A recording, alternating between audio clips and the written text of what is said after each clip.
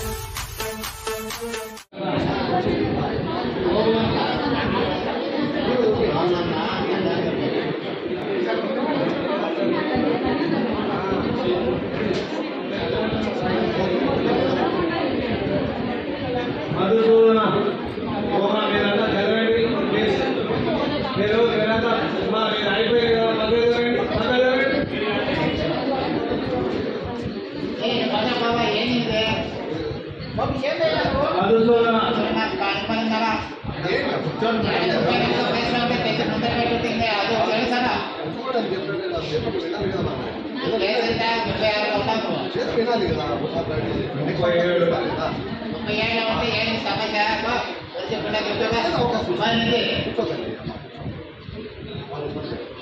ఏదో కోట్ల కావాలి ముందు తీసుకొచ్చి కళ్ళు టౌన్ లేదు ఇంటి పక్కన కావాలా చిన్న పిల్లలు కావాలి పుట్టుబడి పిల్లలు ఉంటారు కావాలా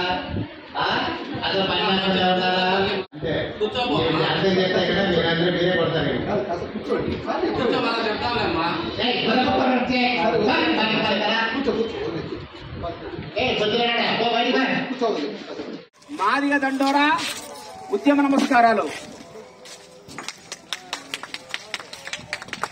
చుక్కలూరు మాదిగ బంధువులారా ఈరోజు మందాకృష్ణ మాదిగ ఆదేశాల మేరకు మీ ఊరికి వచ్చింది. ఎందుకు? గతంలో ఈ గ్రామం నుంచి దండోరకు మంచి స్పందన ఉంది. మీరు కూడా దండోరలో బాగా పనిచేశారు.